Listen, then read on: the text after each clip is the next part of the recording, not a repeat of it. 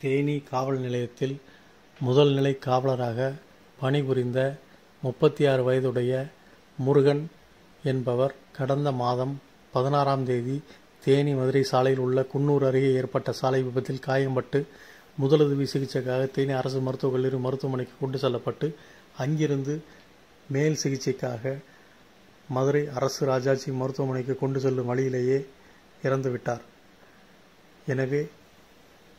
அந்த காவலரின் குடும்ப நலன் கருதி தேனி மாவட்ட காவல்துறை சார்பாக மாவட்ட காவல் கண்காணிப்பாளர் சாய் சரண் தேஜஸ்வி காவலரின் குடும்ப நல நிதியாக ஆறு லட்சத்தி பத்தாயிரத்திற்கான காசோலையை மறைந்த காவலரின் மனைவி சத்யாவிடம் வழங்கி சிறப்பித்தார்.